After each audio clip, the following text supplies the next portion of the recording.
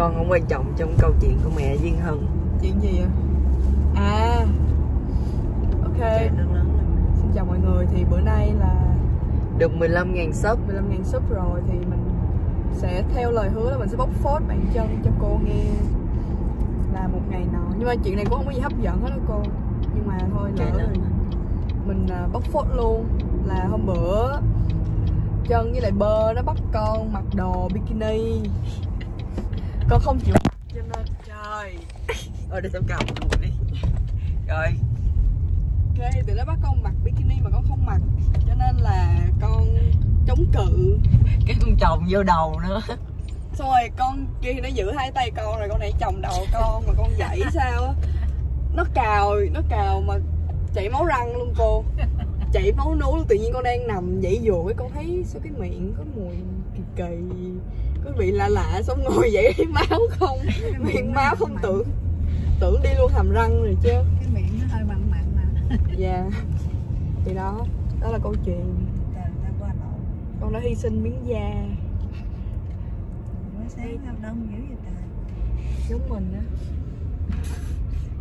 Mình đang đi ờ, chơi người Đang đi hay nhấc xe má ơi. Chở chân đi rửa xe chở chân với cô đi rửa xe. Ủa sao ta? Đi qua kia quá. Chứ nó nằm phía sau. Nhưng mà mày cũng phải vô mày nói trước rồi nó mới lấy cho mày chứ nhưng mà nó nằm đó thì mày thì nó cái cái cổng nó khác Yes. Ừ. rồi đừng quay nữa mày ơi hết rồi. Câu chuyện này kết thúc rồi. Câu chuyện giảm nhất trên đời. Không có gì hay ho cả nhưng mà Tại Hân lỡ thích hướng kể. lỡ hướng để có sao đâu Ê ê ê. Why you chạy so fast you? Thế tao nói thành tiếng miên luôn không? Ủa qua cửa không giờ?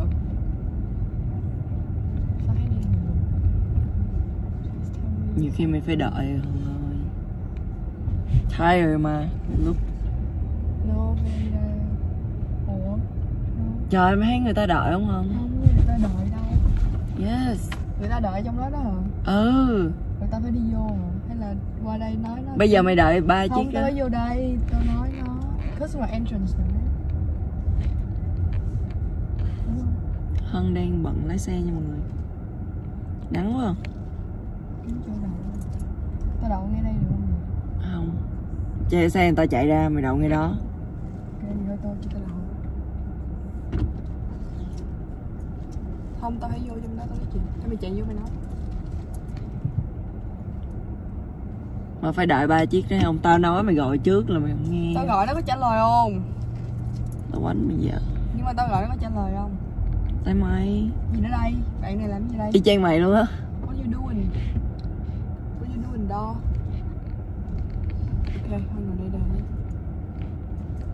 Vậy là có thể là Đợi hơn 20 phút ừ, Mày nhìn thấy hàng xe người ta đi vô kìa Không Tùy thôi. Nhiều khi xe người ta hư. Ok, sorry. Hôm nay nói bạn luôn Ok bye. Tạm biệt mọi người. Ok, bye